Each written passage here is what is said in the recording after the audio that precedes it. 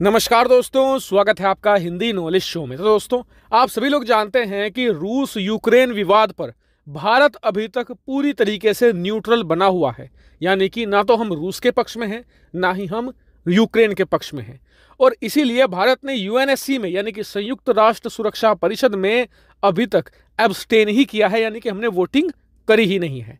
लेकिन कल भारत ने एक बहुत ही ज़्यादा बड़ा मूव चला है और कहीं ना कहीं अमेरिका के खिलाफ गया है भारत और रूस के पक्ष में।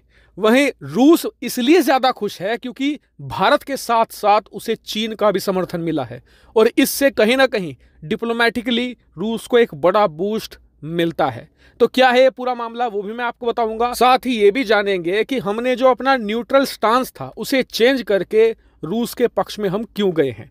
सब कुछ जानेंगे, बहुत ही डिटेल से। तो चलिए, बिना टाइम वेस्ट किए वीडियो को शुरू करते हैं। तो दोस्तों, हुआ क्या कि अब से दो दिन पहले अमेरिका पर रूस ने आरोप ये लगाया कि अमेरिका यूक्रेन के अंदर बायोलॉजिकल वेपन की एक सीक्रेट लैब चला रहा है और उस लैब की फंडिंग अमेरिका कर रहा है।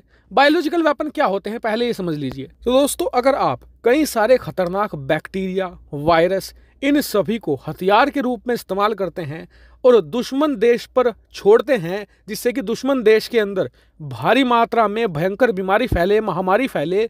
तो इसे बस बायोलॉजिकल वॉरफेयर कहते हैं बायोलॉजिकल वेपन कहते हैं। तो कुछ ऐसे ही खतरनाक वायरस और बैक्टीरिया अमेरिका, यूक्रेन में बना रहा है, ये आरोप है रूस का।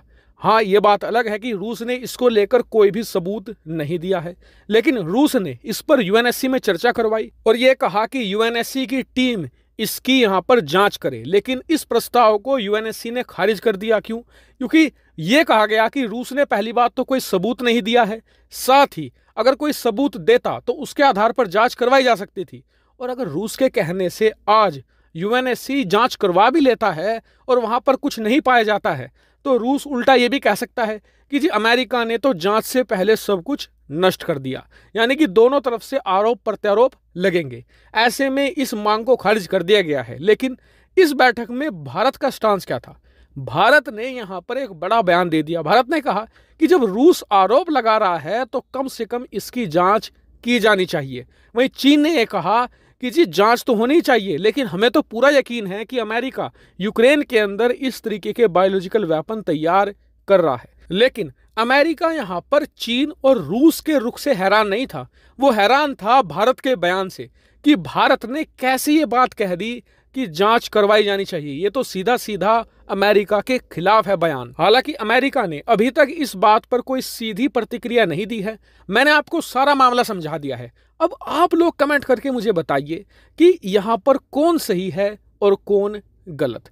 फ़िलहाल इस वीडियो में इतना ही। Thank you very much watching video